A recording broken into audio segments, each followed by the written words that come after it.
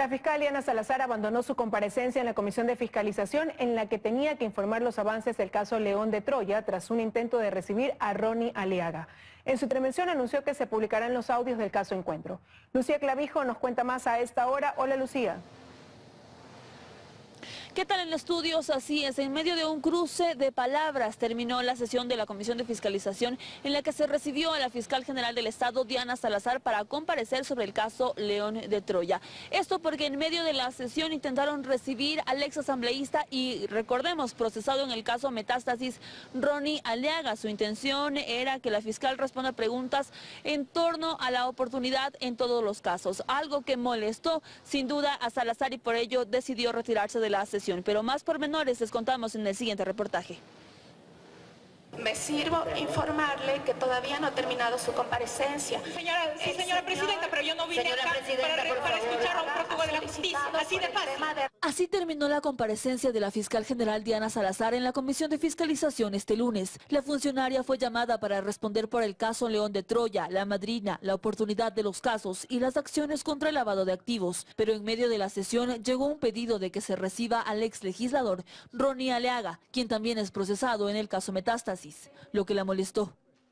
He respondido a las preguntas, pero si ustedes dan paso a esto, yo me voy a retirar, porque no voy a ser objeto ni me voy a prestar para el show que quieren hacer los políticos sobre los casos pena de contaminar el caso Metástasis. Aleaga tenía la intención de intervenir por el punto 2 sobre la oportunidad en todos los casos, algo que también fue rechazado por la mayoría de la comisión. Los asambleístas Ramiro Vela, Adriana García, Lenin Rogel, Luis Alvarado y César Umajinga abandonaron la sala. Viene, está en la comparecencia, está en el momento de las preguntas y de pronto en medio de aquello meten una moción para escuchar a una persona que está fuera del país y que no se ha podido quedar acá en el país a decir lo que quiere decir. Para escuchar a Aleaga se quedaron únicamente los legisladores correístas, pero por problemas técnicos no pudo intervenir y la sesión tuvo que ser clausurada. ¿Cuál es el miedo de recibir en Comisión General? A mí me parece que esto es una evidencia de que no les gusta el control político. Antes de que aquello sucediera, Salazar respondió sobre los avances en el caso León de Troya y explicó por qué se unificó con el caso Encuentro. Además, reveló que los audios de este último se harán públicos. Que no existen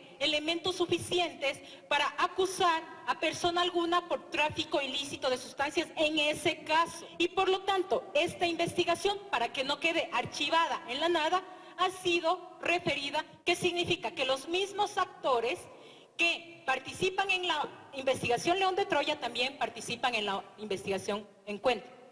Todos los audios del caso Encuentro que están ahora y que formaban parte de León de Troya estén a disposición de la ciudadanía. Salazar dijo que esta comparecencia sería una abrebocas para el juicio político que se acerca y cuestionó que nuevamente se intente meter la mano en la justicia. La audiencia preparatoria de juicio en el caso Encuentro será el próximo 16 y 17 de mayo. Y bien, los asambleístas han adelantado que analizarán si reciben en otra ocasión al ex asambleísta Ronnie Aliaga mientras se acerca el juicio político en contra de la fiscal general. Con esta información regreso a estudios. Muy buenas tardes.